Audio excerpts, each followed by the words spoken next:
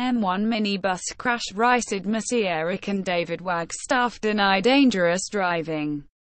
Two lorry drivers have denied a string of charges following a crash on the M1 that left eight people dead. Six men and two women died in the crash involving two lorries and a minibus near Newport Pagnell.